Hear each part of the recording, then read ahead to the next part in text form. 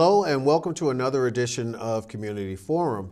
My name is Joseph Feaster, and I'm the host of the program, and I want to wish all of our viewing audience a Happy New Year. There's been no time in my life when the presidency of the United States was so much in discussion. It's almost 24 7. We're hearing something about what's going on in Washington around the president administration, and as I refer to the president as number 45 and we'll talk more about that with my guests as we go on. But what we want to talk about today is to give you a history of the presidency, looking at it from the from the lens of our founding fathers as they developed the Constitution and they put in Section uh, three of the of the Article three of the Constitution, talking about the presidency and what the roles are. Article one, which talked about the legislature. And so we, and I think that I think that Article Two was Senate. I'll get a definitely a education from my guests on those particular points. We also want to talk about we had rogues amongst the 45. We had some shining stars amongst the 45. And then lastly, I want to talk about so people will understand what is this whole discussion about presidential pardon, presidential privilege. Um, and all of those types of issues which are currently being bantered around in the media most recently. I am pleased and honored to have a dear friend, a professor who was at Northeastern University when I was a student there, became a good friend of mine over the course of those many, many decades. And I wanted to have him here because he is intelligent, he is wise, he is knowledgeable, and he definitely will give you uh, discourse relative to the presidency of the United States. I want you to join me in welcoming my guest, William M. Fowler Jr. Well, thank you, Joe. I, I don't know if those words are true, but they're certainly kind. So thank you. Well, in terms of, I am going to say, as I told folks, this is my show. I'm going to say all the good things about it because they are definitely the truth. But well, I, am delighted to be here. But let me just give, I just want to give, I, it, it, I would be remiss if I didn't put it in context because I okay. want to be able to let folks know, that, as I know you, how scholarly and studied you are on this particular subject. You've, you've been you are uh, the uh, Distinguished Professor of History Emeritus at Northeastern University. You were the former director of the Massachusetts Historical Society. Uh, you are a, as I am, a Northeastern yes, University indeed. grad, and uh, and you know, from which you received your undergraduate degree, and then went on to Notre Dame for your PhD. You have you are prolific as an author. You've done a number of different books, and it was interesting. I was reading a lot of them have to do with folks who are in the water, the Navy, and yes, the seamanship is indeed a large part of what you've done. Right. But of course, you've also covered the. Uh, the presidency, and I see that you were you did an introduction and epilogue for a book that was on Boston looks seaward, and you co-authored one which is called America and the Sea: A Maritime History yes. of America. Uh, and at Northeastern, you taught a multiplicity of courses, but the one I'm focusing on is American history mm-hmm. and the American colonial, colonial and revolutionary history. And you also uh, taught at other universities, George Washington's uh, um, Mount Vernon Mystic Seaport Museum and lectured at the Smithsonian. And in uh, off air, we were talking about you now lecturing on cruise ships. Yes, uh, indeed. Do you need anybody to carry your luggage when you go on these things? Well, I'll uh, think Professor? about that. I'll have okay. to consult with my wife. Okay, well, in terms of that's great. Let's get to the subject matter. And, I, and you know, I, as, as we had talked about what we might want to cover for years, and I, one of the things I like to do on, on this uh, program is to educate our viewing audience. Mm-hmm. If you could just take us through what our founding fathers had in mind with respect to the relationship in the executive branch, in terms of the presidency, in terms of the legislative branch, and the, and the relationship with the judicial branch, how they foresaw from your vantage point and from your study of history so that people understand better how things may look relative to what's going on now. Joe, the founding fathers who created this republic were all veterans of the American Revolution. Uh, they had lived through an extraordinary period in history. Uh, they had either participated in the revolution as soldiers or politicians, or they had watched it. So everything that they did in creating this new republic was based upon experience. In fact, one of the members of the Constitutional Convention Uh, remarked to his colleagues, he said, Experience must be our only guide, for reason may mislead us. And by that, what he meant was that they were there in Philadelphia to devise a practical document that could govern this republic. They didn't want to hear about theory, they didn't need any political scientists there. They wanted to out of their own experience. And that's what the Constitution is it's a document written from experience. And what they needed to do, a fundamental point that they did agree upon.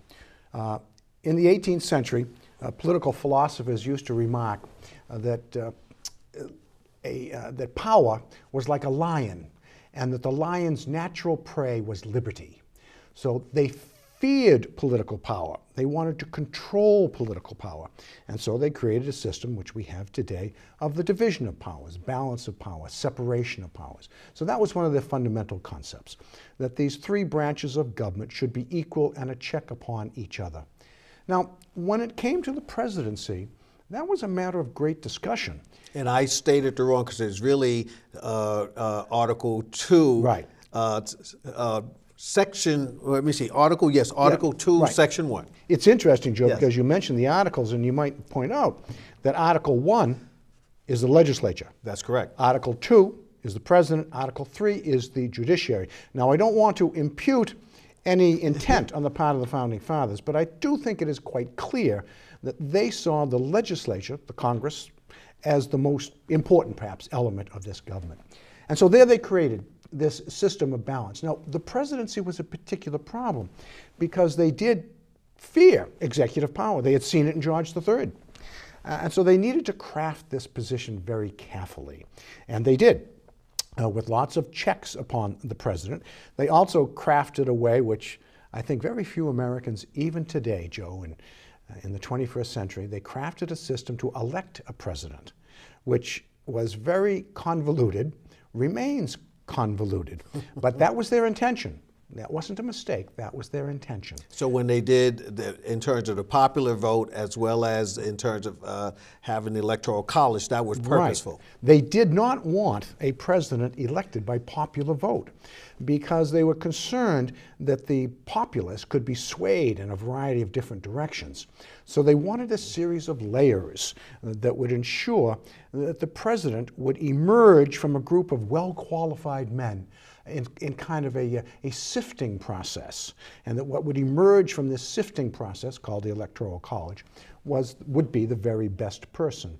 Uh, not necessarily the person with the most popular votes. That was not their intent at all, but to control this person. One of the uh, conundrums that they had was about the election of the president. Should the president uh, be restricted in the number of terms that he could serve? They couldn't decide. They simply couldn't decide. So they did what they did in many other parts of the Constitution. They simply left it vague, uh, with the assumption that future generations will have to face this issue and they will have to deal with it. Uh, one of the things about these men in Philadelphia, as proud and sometimes as arrogant as they were, there was also a certain humility to them. They knew they couldn't predict the future. Uh, they really did believe they were doing the best job they could, and it would be up to generations to come to fix their mistakes and change the document. And that they did. And that they and that's did. where we got with the amendments Exactly to, the, uh, to, to the Constitution. It's interesting because just like I, uh, you know, and, and, you know, the lawyer in me says go back to the facts and read. So I brought along the Constitution Mm-hmm. so I could be, and in glancing at it, I still made uh, some foibles as to the specific ones. Uh, but your explanation of the intent is so telling because if we, you know, if we jump ahead into the future and to now, we're seeing this playing played out in both the election that took place this uh, last year and which was one of the few times when it was electoral college vote. And now you can correct Mm-hmm. me if I'm wrong, but among the 45, I don't know if that ever occurred with it with the electoral college, or has that occurred in the Oh, yes. past before? We've actually had, in terms of popular vote, minority presidents several times. Perhaps the most famous would be Abraham Lincoln. Uh, Abraham Lincoln uh, did not have, uh, far from it, a majority of the vote, uh, but he carried the northern states with the mass of electoral votes. Uh, John Kennedy, 1960, did not actually win the popular vote. He had less than 50%. So it's not unusual for a president to have less than 50%, less than a majority of the popular vote. But because of the system, the Electoral College is what really counts, and there the majority rules.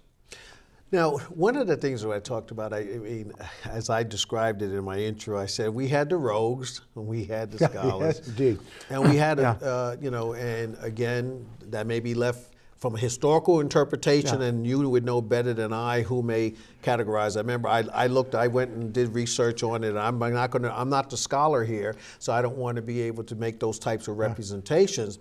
But I do know this, and we talked about this off air as well, that there were only, uh, there's only been two instances uh, when we've had the issue of impeachment come Yes, up. yes, that is true. Can we talk about that? Uh, the two presidents, and by the way, the impeachment process, again, like the Electoral College, uh, I think is sometimes misunderstood. Uh, the way that it works is that it, a bill of impeachment, a normal piece of legislation, is introduced into the House of Representatives, sent to a committee, usually the Judiciary Committee, and then the House votes. It's, again, like legislation. If a majority approves of the bill, it then goes to the Senate. And then the Senate sits a- in a trial, and the Senate sits as a jury. So, two presidents have actually been impeached. They have not been convicted because the bill passed in the House, but they failed to get a conviction in the Senate. And those two presidents who were impeached by the House Andrew Johnson, who was Abraham Lincoln's successor, uh, Johnson was impeached on the charge that he had violated the Tenure of Office Act, uh, which the Tenure of Office Act said that for a president to uh, dismiss a cabinet officer, he needed the approval of the Senate. Uh, and Johnson dismissed the cabinet officer without the approval of the Senate, and so he was brought up on charges, impeached. In the trial in the Senate, the vote for conviction failed by one vote. So Johnson continued his term. I might add, by the way, as a footnote, that the Tenure of Office Act, upon which he was charged violating, was later declared unconstitutional by the court. The second president to be impeached was uh, President Clinton. Uh, and he was impeached. The bill of impeachment passed in the House, uh, but it failed in the Senate again. So we have never had a president convicted. We have never re- removed a president uh, by impeachment. Uh, President Nixon did leave, uh, but that's only because I think he probably saw it was time to get out of Dodge. that, that the likelihood of actually being impeached and convicted was probably pretty high, so he resigned. Uh, but we have never forced a president out through an impeachment process. Let's talk a little about. I mean, uh, uh, in a lot of the literature that, that I read in preparation to have this conversation with you was was talking exactly about that balance of power and the interesting part, uh, and you mentioned it here about the fact that the founding fathers least if not explicitly, implicitly indicated that the body with a number of people, the legislature, was almost going to be primo uh, uno uh, in with regards to this new confederacy that they were bringing together. You talk a little bit more about that, as, as you know, from your because I'm sure you've had these discussions in all of your classes at one point in time. Yes, indeed. Uh, the center of power, my interpretation, I, other historians might disagree, but the center of power, as far as the founding fathers saw it, was indeed in the Congress. Uh, the Congress represented the states. The Congress represented the people. Okay? And the Congress was the place from which legislation always comes. Uh, for example, in cases of taxation, all tax, tax bills must originate in the House because the House, elected every two years, is the closest to the people. So the House was intended to be the voice of the people. The Senate, on the other hand, in a kind of a Roman like tradition, and the Senate, of course, elected for six years, As they called the upper body. the upper body, and in fact, in the original Constitution, before an amendment, uh, the Senate was elected not by the people. The Senate, the two senators from each state, were elected by the state legislature. So there again, we have this insulation from the voice of the people. So the Senate was intended to be a more deliberative body, which I sus- would suggest over the generations has in fact proven to be true. So again, we have this division of power even within the legislature. the House close to the people, feeling the pulse of the people, up for reelection every two years. The Senate, elected by state legislatures, and the senators sit for six years, somewhat insulated from the daily routine, the pressures, the winds of change. They could be more deliberative. The interesting part, uh, you know, again, and you know, I, I was a political science Mm-hmm. major there. Of course, I had to take history courses also, uh, but not in the depth that uh, that certainly uh, uh, of the knowledge that you have. I, I, I, in my instructive way to our viewing audience, I would let's go. But we're going to go back in that time Mm-hmm. right. machine, and we're going to sit there with the uh, you know uh, with the Hamiltons, uh, and we're going to sit there with Ben Franklin, and we're going to sit there with. It, did does any of your your studies talk about the players and where they came out on it? Because I'm seeing a dichotomy between the people piece and some still hearkening for what was done over in England with the British form of government. And it seemed like that may have been the conflict that was taking place as they sat around those tables. There was always that conflict, Joe. There, the tension between democracy and aristocracy. Uh, and despite our problems with King George III, the fact of the matter was that most Americans at the time admired the British system of government. It was a parliamentary system that perhaps had gone awry, to be sure, and it precipitated a revolution. But nonetheless, that in its very fundamental sense, it was a rule of law and a representative House of Commons body with an executive, the king, at the top. And so there were some. uh, The, prim, the primary person who advocated this position, Alexander Hamilton. Hamilton was very much in favor of a very strong executive, very strong executive. He was also inclined to uh, want to limit the power of the states. What Hamilton saw on the English model was a very powerful central government, uh, and that the states would be quite subservient to that government. He also viewed the president as not a titular head, because the president has real power, uh, but he's, in a sense, he saw the president as a symbolic figure. And in his judgment, and not coincidentally, by the way, he was Secretary of the Treasury, he saw the Secretary of the Treasury to be sort of the Prime Minister, the first among equals in the cabinet, because the Secretary of the Treasury was in charge of finances. Right. And so Hamilton's view then. I think was- Hamilton was a New Yorker. Oh, too. he was a New Yorker, yes. so Hamilton's view uh, was very hierarchical, uh, with the Secretary of the Treasury himself uh, playing this role as the go-between between the head of state, the president, and the legislature. Well, of course, thank heavens we had George Washington, because Washington would have none of this. And Washington exerted great control and great influence, and he was a force to be reckoned with. And so Washington then set the tone and set the traditions uh, for the presidency. He did not work through the Secretary of the Treasury to the legislature. He worked to the legislature directly. And he exerted the powers of the presidency in a fashion that only he could. Uh, so Hamilton's view, and the view of people like him, of this hierarchical, somewhat arist- aristocratic structure, imitation of the British system, did not come to fruition. And instead, we evolved into the system we have today with a president, a very powerful president, uh, two houses of the legislature, and a judiciary. Hopefully, a balancing and indeed, when necessary, challenging one another. One of the things that I know, and I, I, I mentioned the New York piece, not only because the, uh, our current pres- uh, president, 45, is a New Yorker, but more from the standpoint of, again, when you start talking about the discourse and the tensions that took place, I know because I learned this through the course of study that there was some discussion about the capital being in New York, which Yes. would have been where Hamilton was, Yes, yes. and it wound up in D.C. Can you enlighten folks on, on, on what was that conversation that resulted in the capital being in Washington, D.C., rather than, uh, or I guess Upper Virginia at that particular point in time? Well, Joe, this was an unusual period in our history when compromise uh, was acceptable. There was in the Congress a great debate over what was called funding and assumption. Uh, the question was all of these debts left over from the American Revolution. The new republic is now in place. How should these debts be treated? Uh, there were some who argued that many of the uh, debts, let's call them IOUs, that had been issued during the Revolution had, in the course of time, been sold and sold and resold.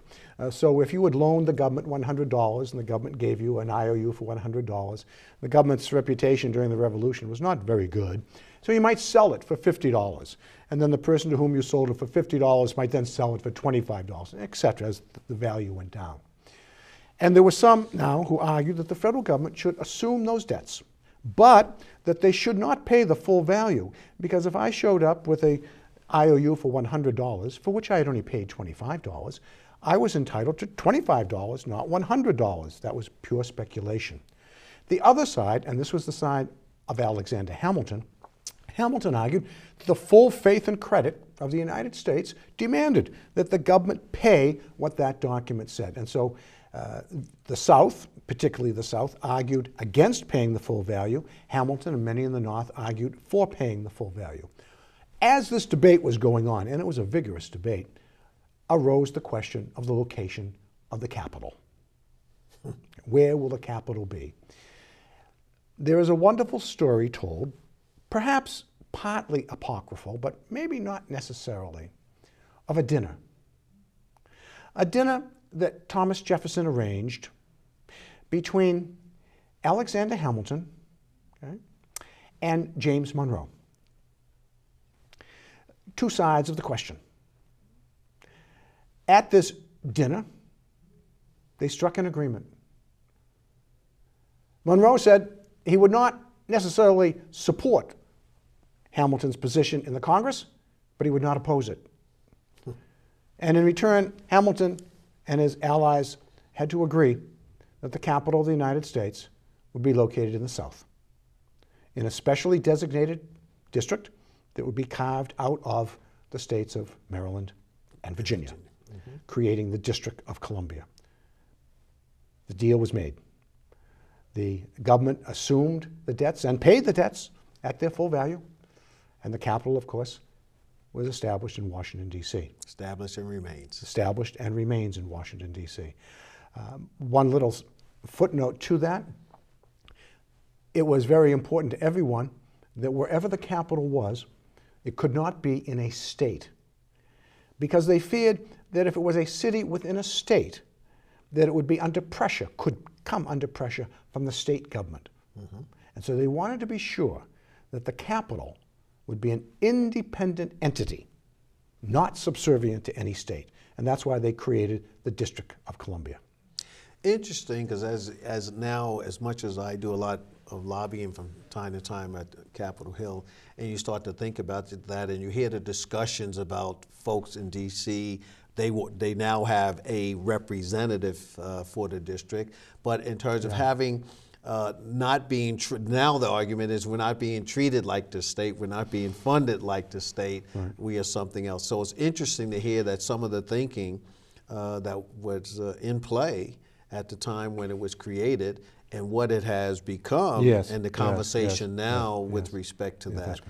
and I might mention by the way I said Monroe I meant Madison Madison, Madison, Madison had the dinner yes, yes. James, he was our uh, which president well, was he? Well, he's, he's uh, Madison's president during the War of 1812. That's right. You know, so I, I want to talk about that. I was going to come yeah. go, come to the future, but I want to mm. walk folks through sure. a little bit of history. Let's talk about some of the 45. Ah, yeah. I mean, I know that there are the stories, and you can pick the ones that you want to tell.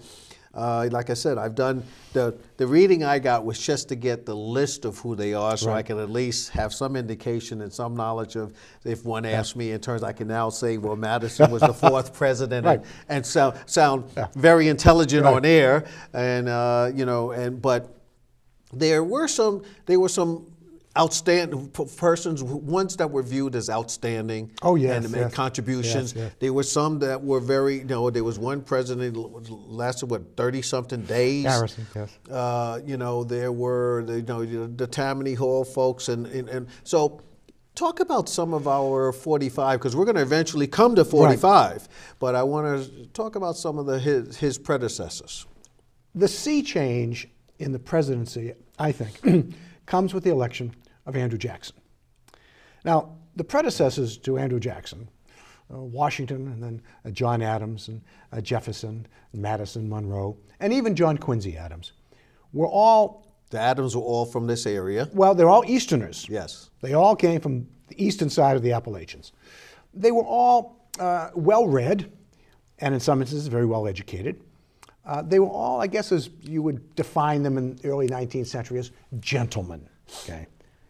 And then along comes Andrew Jackson, who clearly everyone recognizes is not a gentleman, hardly.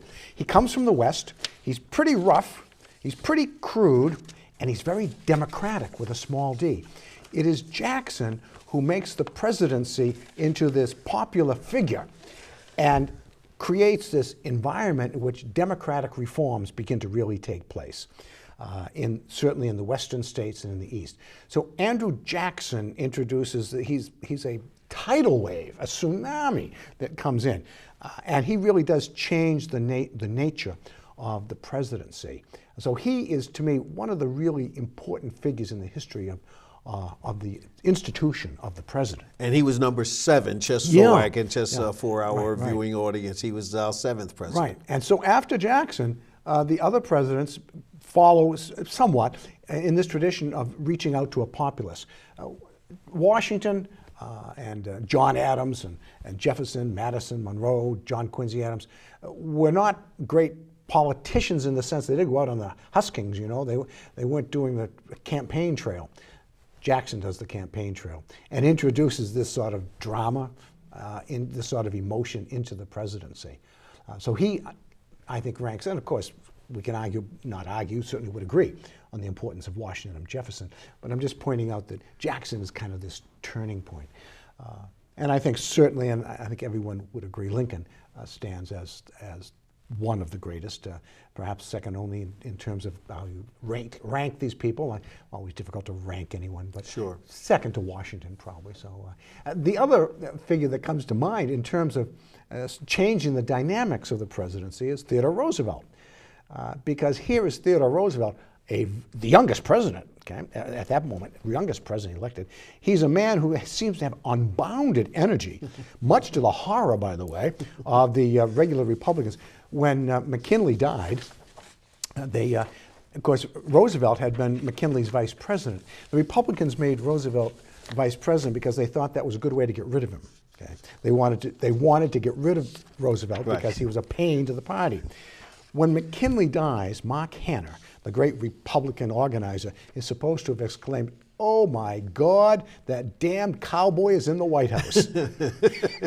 and, so, and so Roosevelt then brings in this level of energy, this populist urge, uh, and again popularizes the presidency, takes the role of the president to new heights in terms of, of leadership. Uh, so, I, so I think of those three men in our past that really did change and alter the nature of the presidency. Just for, again, for just for information for folks, we talk about you know uh, Roosevelt became president when McKinley was assassinated. Right, right, Uh, right. You know, we, you know, and you oftentimes hear about Ulysses S. Grant in terms of yes. his role. You Yes. hear about Woodrow Wilson Yes. in terms of many types of issues. Right. Uh, some positive, some Yes, negative, and I suspect that that was true depending upon your vantage point in terms of uh, uh, with respect to the policies that one put in place. Uh, but as we come Mm-hmm. forward, I, I, you know, for myself, um, I would say I was old enough to be aware of Eisenhower. Yes. Um, I certainly was more aware of John F. Kennedy. Mm-hmm. Was very much aware of because I was by that time coming into uh, the my high school years and uh, moving on into my college years of Lyndon Johnson's uh, presidency. L- let's talk about that period of time because we come out of well let's go back a little bit more let's go back to fdr because there were a lot transpired in that period of time in the presidents that had to serve and the changes in many communities. For instance prior to you know we can go back to reconstruction and what that meant in terms of the you know the deep south. Right. the democrats were different in terms of perception, particularly as it did from the black community who were Republicans up mm-hmm, until the mm-hmm, time of mm-hmm. Theodore Roosevelt, excuse me, of Franklin Roosevelt. But Franklin Roosevelt and, and the issues around the depression and and, and, and, and and the war and all of that. Can we talk a little bit from uh, FDR forward, or start at any point you want? But if you at least there, if we could just have a little conversation around those. What happened, one of the most important transitions that happened under the leadership of Franklin uh, Delano Roosevelt was that we began to assume and to recognize or to assign to the federal government a responsibility for the prosperity of the nation. Uh, that had not been the case before Roosevelt. Uh, no one thought that uh, Washington or Jackson or Lincoln was responsible for the unemployment rate or responsible for the growth of the national product or any of that. Roosevelt, of course, comes into the presidency at a time when an extraordinary economic national crisis. And he assumes the mantle of responsibility for the process of restoring the prosperity of America. That becomes fundamental. That is still with us today. We today see the federal government as the principal player. Did we not just go through a tax measure and that was pushed through based upon what? That it would help the economy. So Roosevelt did that. He put the federal government squarely in responsibility for national prosperity a big change. Wasn't at a time also when Social Security, Professor, so, came out of that, you know, uh, the welfare system? Precisely. All of those things precisely. came out during that time frame. The idea that the federal government had a responsibility to see to the welfare and good being of its citizens. And you're right, Social Security certainly part of that. Began that trend, which certainly has continued. The federal government may back, backtrack occasionally, but the fact of the matter is, it moves forward in terms of helping American citizens achieve prosperity. Uh, the other great change that came in the period, not during Roosevelt, but in the post war period, was the issue of civil rights. Uh, certainly sparked in great measure uh, by Brown versus the Board of Education in 1954, which deemed segregation, which had been legal, uh, deemed segregation illegal. The case of Brown versus the Board of Education introduced in testimony, as you probably well know, sociological evidence which previously hadn't really been introduced in, in law cases. We began to see the great harm that had been done of slavery and the harm that had continued past Reconstruction well into the 20th century. And so as we became more aware of that and sensitive to that, this gave birth to the civil rights movement, which was fundamental uh, to changing the way we view our nation and view one another. So that was a phenomenal change, which was to some degree embraced by Harry Truman, who desegregated the armed forces, uh, and certainly was embraced in a dramatic way uh, by Lyndon Johnson uh, following the death of President Kennedy with the Voting Rights Act. A phenomenal achievement there, I think, which we still move forward on. Civil Rights Act of 64, right. Voting Rights Act, Civil exactly. Rights Act of 68.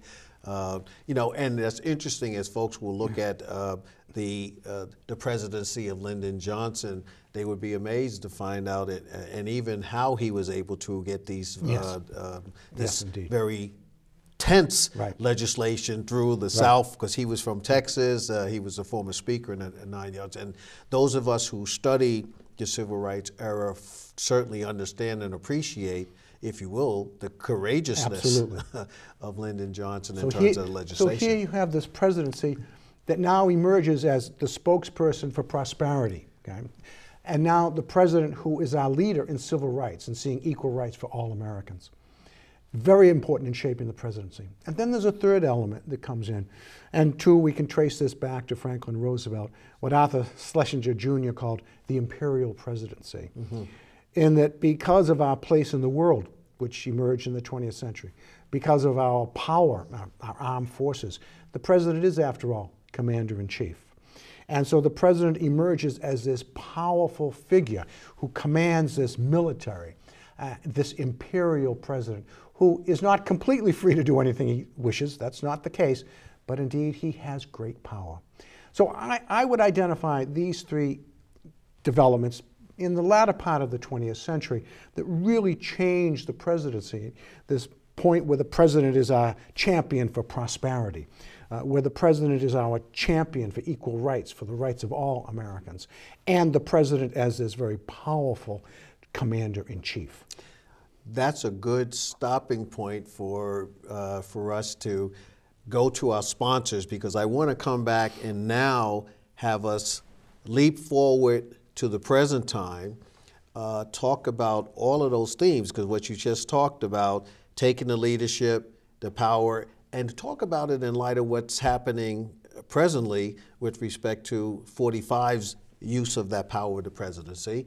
Uh, and if we have an opportunity, if time permits, we'll talk a little bit about this whole presidential privilege, pardon, mm-hmm. and, and the like. So we're going to give our sponsors, and we'll be right back. Thank you.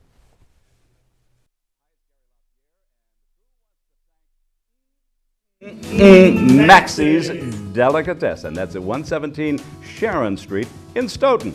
They're 781 341 1662. American Cancer Society. Yes, they're looking for volunteers. Drive cancer patients to and from their treatments. 1 800 ACS 6662. Or just go to www.cancer.org. Ilsa Marks Food Pantry in St. Anthony's Free Market, 2 Park Avenue in Stoughton. For more information, call Christine Gallagher. That's at 781 341 0611 or 781 341 0549. Meals on Wheels. Just ask for Jessica. You'll find her at 781 344 8882, extension 2. Stoughton Penny Saver our business is advertising your business, they tell us. 27 Rose Glen Street, Stoughton, 781 344 4833. Community Forum showtimes in Stoughton. It's Thursday, Friday, Saturday, and Sunday at 6 p.m., Monday at 8 p.m., Tuesday at 5 p.m. It's on Comcast Channel 9 and Verizon Channel 28. All comments and suggestions welcome. Contact us at communityforum1 at yahoo.com. Samaritans, they're at 41 West Street on the fourth floor in Boston, 02111. Their phone number is 617 536 2460. 24 hour helplines for Samaritans, and the number is 877 870 HOPE. That's 877 870 4673. Samaritans, you can find them at 800 252 TEEN. That's 252 8336. Or find them online at SamaritansHope.org. Get Fresh, Stoughton's own cooking show. New episodes coming soon. Comcast Channel 9, Verizon Channel 28. And you can view Get Fresh on Mondays at 5:30 p.m., Wednesdays at 8 p.m., Thursdays at 9 a.m., Fridays at 5 o'clock p.m. The Hometown Business Show. Great show for you to watch, and you can see it on Tuesdays at 11 a.m., Wednesdays at 5:30 p.m., Thursdays at 8 p.m., Sundays at 7 p.m. on Comcast Channel 9, Verizon Channel 28. The new show on SMAC, but is not so new because it's uh, been around for a couple of months now but we like to consider it new because they're not old like Community Forum. So we are united for a healthy Stoughton. You can view this program on Mondays at 5 p.m., Tuesdays at 9 a.m., Wednesdays at 8:30 p.m., Fridays at 11 a.m. Again on Comcast Channel 9 and Verizon Channel 28. Monday night bingo at Ahavath Torah Congregation, 1179 Central Street in Stoughton. Come on out. You're supporting a good congregation, having fun, seeing your friends, getting those uh, great numbers, those great cards. The doors open at 4:30 p.m. The games start at 6:30 p.m. Come out, support them, and have fun. Well, Professor, we're back, and uh, as I, we said before we went to break, that we would chat about uh, about the, what has become the power of the presidency, in, in, in, many cases, the entire executive branch. And then we want to look at it through the lens of what is going on now with the current president, 45. Talk to us about, uh, as you see, the progression of the power syndrome, if you will, in the presidency of the United States. The president has a, the presidency uh, has, over the last several decades, assumed tremendous power. Uh, it, by default, it hasn't been an example of the president seizing power, nor has it been an example of the Congress uh, in some legislative fashion deferring or giving power to the president. Uh, but the presidency has assumed this enormous influence that it has now. Uh, an influence which, if not overriding the Congress, he, he cannot do that, nonetheless seems to challenge the Congress. And I think, unfortunately, and this goes for both parties, by the way, that the Congress has been unwilling uh, to challenge the presidency. And in that unwillingness, the default mechanism has been to increase the power of the institution, uh, to which we see it now. I often think when I hear about executive orders, and I guess there are a lot of them, Joe, I wonder uh, how Washington would view these. I'll have to check. I wonder how many executive orders George Washington issued. Mm-hmm. Uh, I doubt that he issued any. And so that's an example of where this power has just expanded and expanded. Uh, much, I think, uh, would be to the consternation of the founding fathers. I was, you know, the reason what I was reaching for is because I have this book, How Our Laws Are Made. yes, yes, yes, yes. you yes. know, and when, yes. no, the young folks would go to their right. phone. I got to go to right. the book, but you know, we know that the law, the laws don't originate in the presidency. No, they do not. you know, they do not. Uh, in fact, in the early days of the presidency, it was unusual for the president to instigate a law or to suggest a law. Today, uh, a large proportion, a large proportion of the laws that are enacted by Congress come from the White House and are sent up to Capitol Hill and then th put through the process of, of enactment. That would have been entirely alien to the early presidents. They did not see themselves as the legislator, they saw that as the power of the Congress. Today, we see the president as the great legislator. When he gives his State of the Union address, he usually lays out what his legislative agenda is. That would have been strange to uh, Thomas Jefferson or to uh, George Washington. They would not have understood that. They would have left that to the Congress. So the presidency has indeed assumed enormous powers, which it now exercises today. I want to just digress for a minute. I want to stay on the presidency, but mm. I just have to get this point out and, and get your take on it. Um, my position is that uh, Donald Trump has, has effectively been able to create a third party. In my view, there's the Democrats, the Republican, and the Trumpites. I know there was the two-party system, Democrats and, and, and, Republicans. Can you talk about that to let people understand how we came into the party, the two-party system? Well, originally, uh, the founding fathers, and this was a bit naive on their part, uh, they did not uh, anticipate or foresee the rise of political parties. Of course, they arose rather quickly. Uh, by the mid, by the late 1790s, there were clearly two views upon uh, the role of the national government. Uh, one side being the Federalists, as they were called, uh, led by Hamilton, uh, who generally viewed, uh, wanted a stronger central government, and so an active federal uh, central government. Uh, the other side uh, we refer to as the Democratic Republicans, led by Thomas Jefferson. they were a party who saw less power for the central government. They were also more oriented towards an agrarian America, whereas the Federalists were more oriented towards a more business urban America.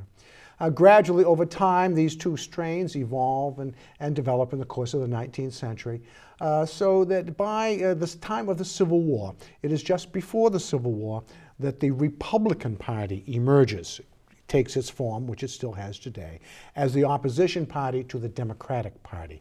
And so it's by mid 19th century, certainly by the Civil War, that we have two very discernible political parties the, Demo- party, the Democratic Party and the Republican Party. And those are the parties that we have today. Uh, the base of support has shifted. Uh, the Democratic Party originally was very strong in the South. That was their base of support. Republicans very strong in the North. Uh, in the 20th century, those party bases shift somewhat as what we now see them today. Uh, the blue, the red states, the term that we now use, uh, have this geographic orientation which has shifted and changed. Uh, but so now we have two parties. We have had third parties in the past. Uh, in the 19th century, the Populist Party, for example. Uh, the, the way our electoral system is set up, it kind of uh, is not uh, favorable to third parties. So third parties have appeared. They then tend to disappear and their membership sifts over into the two principal parties. Uh, but I do take your point today that we do seem to have at least uh, two, two, two parties. We have the Democratic organized political parties. And then we have this third group, not organized necessarily, uh, but clearly people significant number of people who share uh, a sentiment. I would describe their sentiment as anti government. I think that the sentiment which they share is a negative sentiment. I don't know that they have a positive view. It seems to me they have a very negative view. Uh, but nonetheless, you're right. There is this third element uh, in our political system now uh, that uh, adherents to uh, are very favorable towards President Trump. Our time is, uh, as always, uh, you know when I have such a, a great and distinguished and intellectual guest as you. Um, on uh, the time seems to just melt away.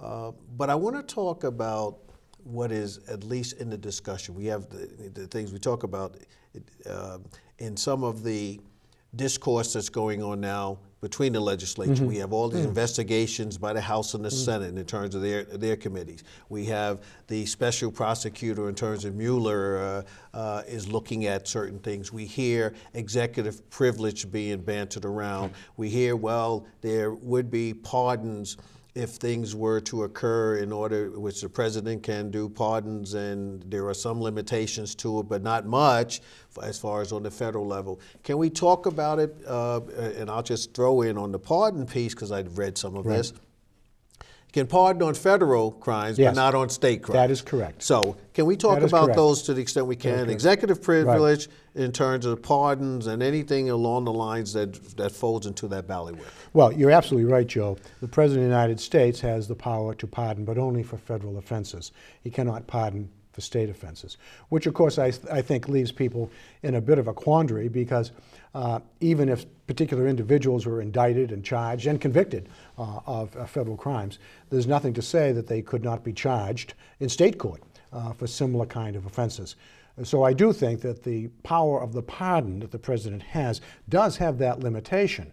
Uh, so I think that the president, whoever the president is, needs to be careful about how he decides to use that power. And that's in the Constitution. Oh yes, no, there is, is no question. There is no question that the president has the power to pardon those convicted in federal court. There is no question of that at all nor is there any question that he does not have the power to pardon people convicted in state courts.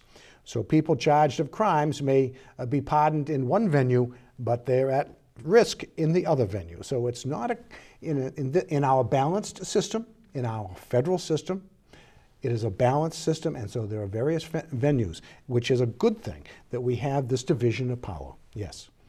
Anything, uh, can we, ch- uh, you know, to the extent that you are aware of the specifics on this, this whole discussion around executive privilege, uh, is that, that's, that's more a term of art? I don't think that that's a constant, or is it a constitutional? No, it, it, that's more or less a practice, a term of art, something that came up in ter- the in this when you talked about in terms of yeah. the presidential powers uh, that have emerged. How did executive privilege come about? Well, it is a term of art, mm-hmm. and I think the courts are still in the process of deciding what, what that art is.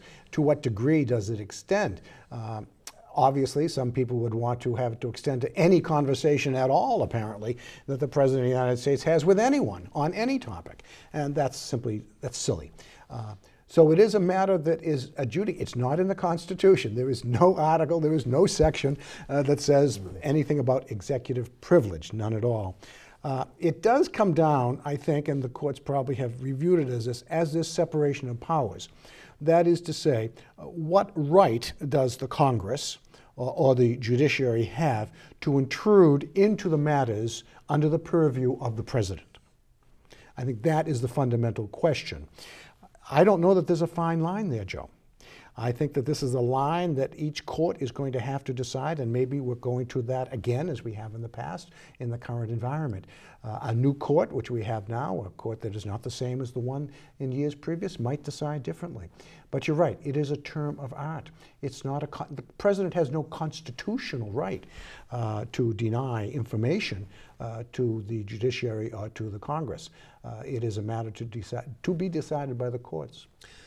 I said at the opening, I talked about the fact that, in at least in my adult lifetime, um, and as a student of politics, I have never seen uh, uh, uh, so much discussion around the presidential office almost 24 7.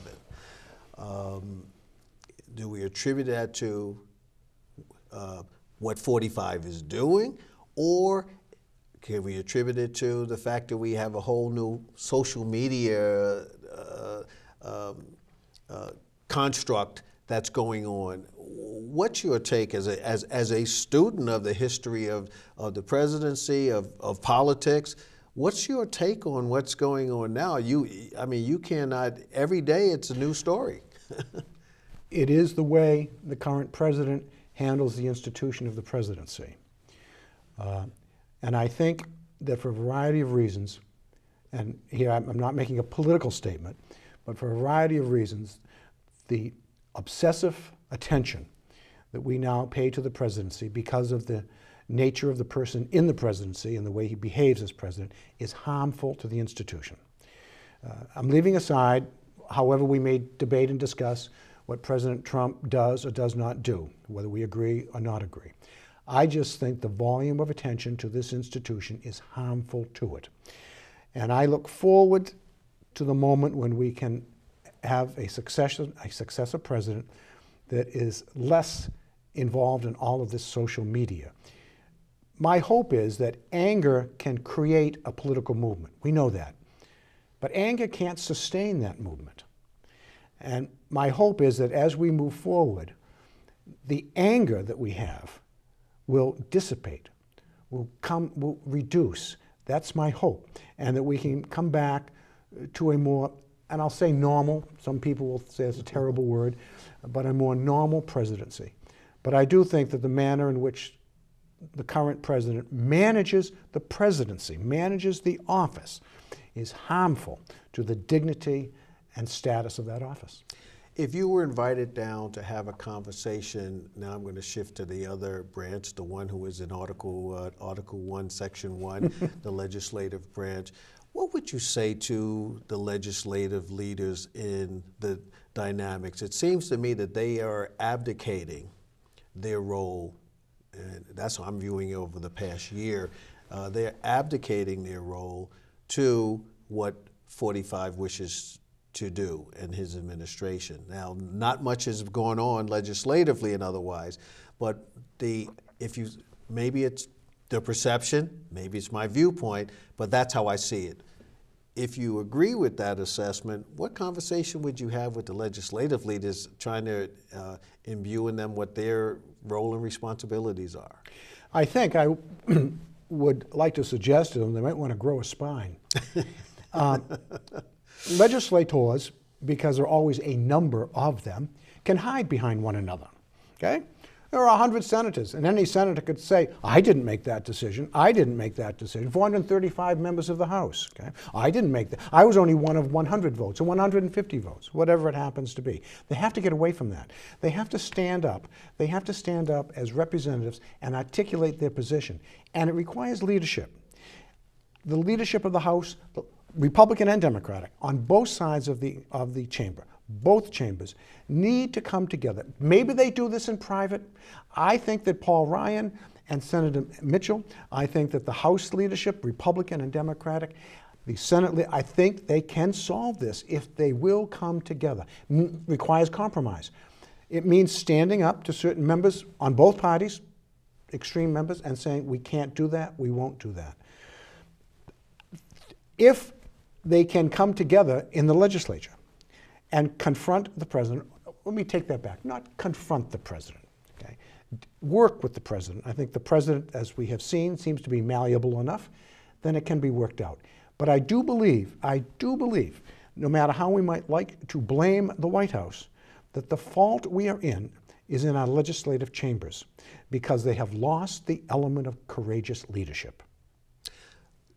I know where this program will air probably after we've had a decision as to whether our uh, federal government will will be funded.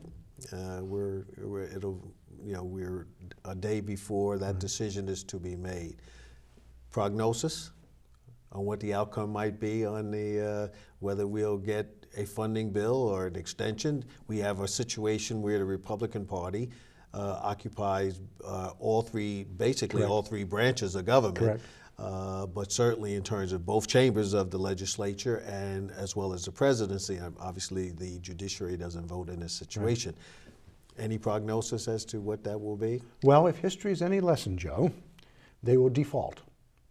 They will default to a some sort of continuing resolution and promise to deal with this within the next 30 days. And 30 days from now, Joe, Well, they'll. they now some are saying that they're not going to allow for the default. There's some that uh, you know that because uh, that's what they're talking about in terms of the two weeks, and Yes. if they don't have it in 30 days, I think what you're prompting me to say they'll default again.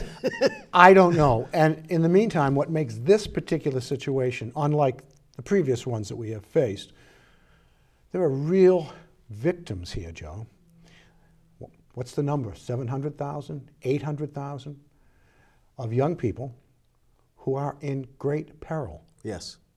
Great peril. You talk so about the this isn't- This isn't a matter that you and I won't be able to visit the national park, Joe. Okay, Right. that's not what we're talking about. We're talking about 800,000 young people who we need in this country who are in peril.